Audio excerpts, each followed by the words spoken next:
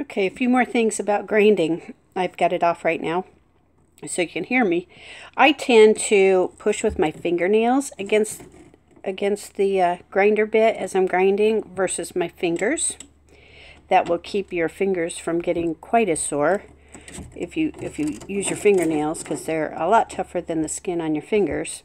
And then also you can adjust your bit up and down so you can get more surface. So just because one part gets wore out, use your Allen wrench, loosen it up, adjust it up or down. Just make sure you're getting the water flow yet. If you pull it up too high, it can't wick that foil up.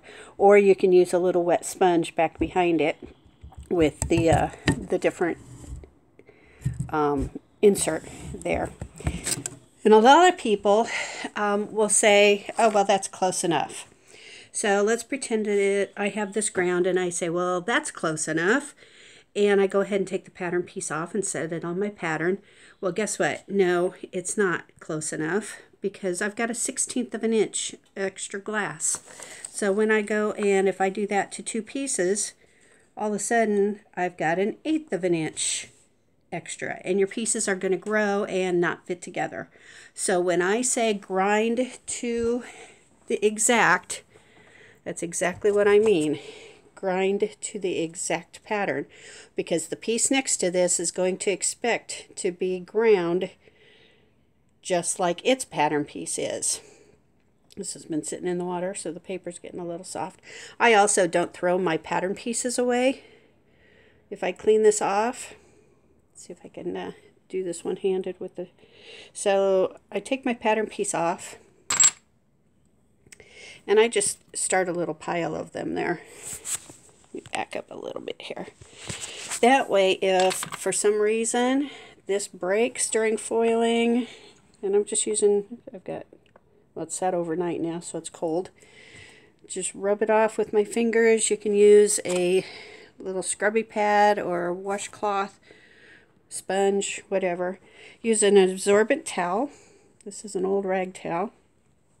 Like I said, get it dry because you don't want to drip and dry your hand off because the water will drip down in your pattern piece too.